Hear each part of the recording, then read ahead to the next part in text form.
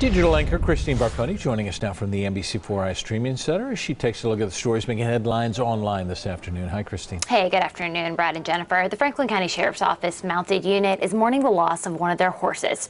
Chip, an 18-year-old retired racehorse who later became a prized member of the Franklin County Sheriff's Office, died this week. Chip joined the mounted unit in 2020 after retiring from a successful racing career. His massive head and donkey-like ears made him easily distinguishable from his fellow mounted horses, the sheriff's office said. He also loved a good nap while on duty, they added. The sheriff's office is asking people to keep Chip's owners, Deputy Eads and his rider, Deputy Baez, in their thoughts as they mourn Chip's death.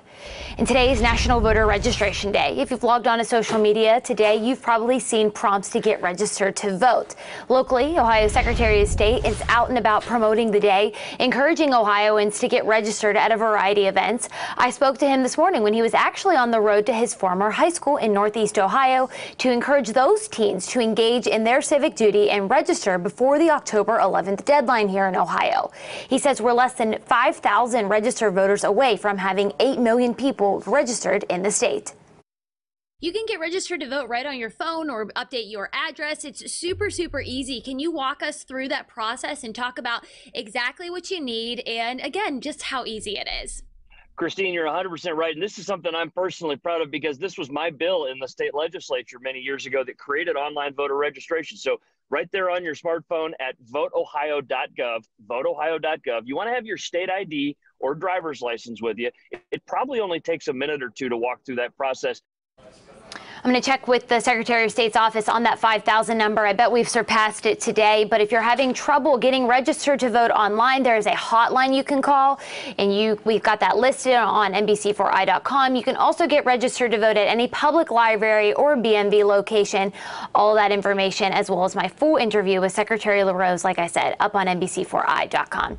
Finally, NyQuil is trending on social media right now because the FDA issued a warning about a perceived trend on TikTok of people cooking chicken in the cold and flu medicine. While this is very dangerous, looking into TikTok, the original Sleepy Chicken video seems to have originated in January of this year as a parody, and it's now trending again on the app as people are reacting to the absurdity of it. The FDA urges parents to keep over the counter and prescription drugs away from children and lock them up up to prevent accidental overdose, Brad and Jen. I have to be careful when I open yeah, my mouth I'm things like this. I can't say anything Come about on. this. So it's a perceived trend. I don't think there are actual children that are cooking NyQuil in the chicken, but it is trending on the app, so it's a good reminder, but I don't think that it's an actual thing that don't is happening with children. Don't Let us hope yeah. not.